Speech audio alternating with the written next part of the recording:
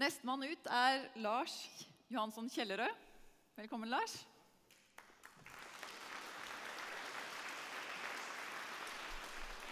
Vi to møtte hverandre for litt over tre år siden. Da Lars eh, stilte opp hos Ferd og lurte på om ikke vi kunne tenke oss å være med på oppstarten av selskapet hans Unicus. Og helt ærlig talt, vi syntes det var en glitrende idé han kom med.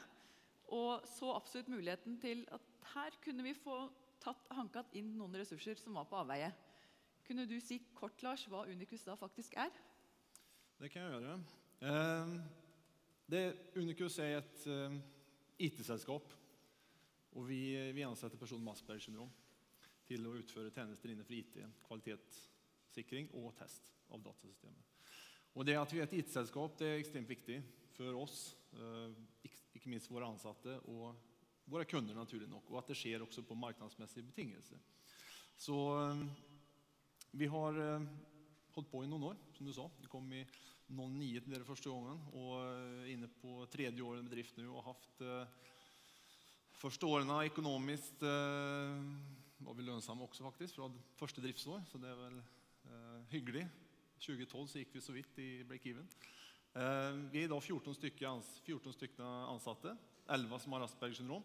Som er en klar majoritet i Unicus. Så det er litt samfunnet snudd på hodet. Eh, og det er morsomt, kan jeg love. Eh, og inspirerende, ikke minst. Så ja, det er det vi gjør. Vi tester datasystemer og gjør det veldig godt. Begynner å få opp kundebase nå, og kundene våre er fornøyde. I hvert fall hittil en kunde som skal snakke litt senere her, så vi skal gi han tid til å fortelle forhåpentligvis noen hyggelige ord om oss.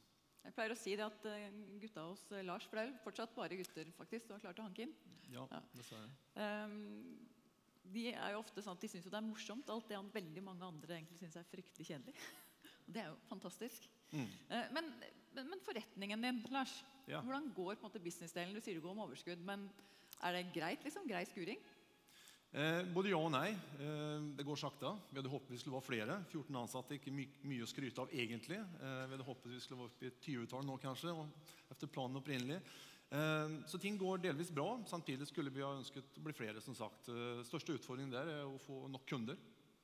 Eh, vi er inne med et nytt konsept, en ny tjeneste i markedet. så det er klart, de kunder som Det er en vei å gå til å overtale dem å tørre å prøve oss ut, rett og slett.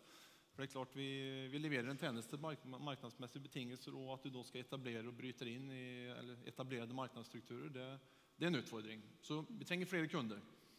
Eh, det gjør vi. Samtidig så også ikke minst takke de kundene som har trodd på oss underveis og har turt å gi oss sjansen, for det er mye det går på. Å tørre å gi oss sjansen. Eh, jeg tror de er fornøyde, og de har fått betalt tilbake med råge. Og Det tycker jeg kunder også som er et godt eksempel på dere de er sine verdier i den daglige driften. De bruker samfunnsansvaret sitt på, samtidig som de da også eh, bygger sin normale business. Ja, For du selger til helt standard markedspris? Det gjør vi. Det er markedsmessige betingelser. Vi er ett market, hva det nå innebærer, men vi prøver å være det. i hvert fall. Eh, og det, som jeg nevnte, det er viktig, og ikke minst for kundene våre. Jeg tror det er viktig for dem også. De må ha levert den tjenesten de skal, og de skal levere sitt prosjekt på på tid, som, som, alle andre må, hvis de skal overleve. Så det er ikke, eh, det er ikke Nei, det, det, holder ikke med idealisme, som Kristin Skogen sa her tidligere. utan det må være, det må, det må være en ordinær tjeneste. Mm. Jeg husker Første gang jeg fikk møte noen av gutta til eh, Lars, så skulle vi ha en workshop. Vi skulle ta opp litt sånn strategien for Unicus og involvere de ansatte. Da var jeg litt spent. Jeg tenker, Dette har jeg gjort, men aldri med folk med asperger. Og jeg må jo si at Det er den beste workshopen jeg har hatt noen gang. De var så fokusert og var fantastisk bra på skjørende strukturen og leverte på innhold så det sang etter.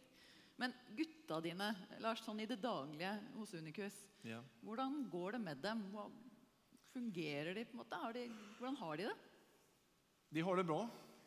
Snakke på vegne av noen andre er alltid vanskelig. Men uh, nei, de har som vi sa, ordinært arbeid. Det er vår sosiale målsetting å gi. Samtidig som vi øke livskvalitet. Og det er jeg ganske overbevist om at vi, vi, har fått til. Vi har et jobb å gå til, og ikke minst tjene penger.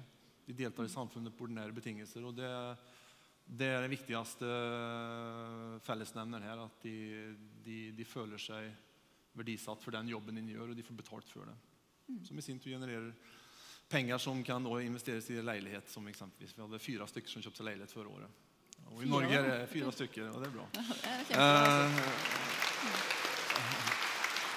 Nå, skal kjempebra. Eh, at det med norske mått mätt. Eh, Alle i Norge er et mått på fremgang å kjøpe seg leilighet. Jeg håper at markedet holder seg, så at ikke jeg sitter med ansvaret for eh, fyra personer med Asperger. Som... Men nei, det er bra. Det er hyggelig. Absolutt. Så bra. Eh, Vi vet jo det at dere har hatt, eh, har hatt mange fornøyde kunder. Hva er den største utfordringen som du ser det, på å skape økt vekst fremover? Den største utfordringen å få ansatt flere er rett og slett for flere kunder. Um, og det er, det, det er, den største utfordringen. Så vi trenger flere kunder, det gjør vi.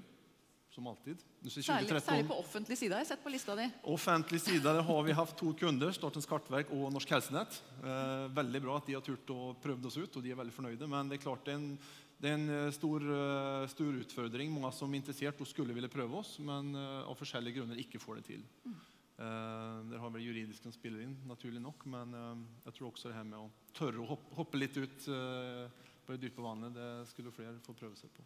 Ikke sant? Man blir kjent med tanken. Ja, absolutt. Tusen takk, Lars. Takk.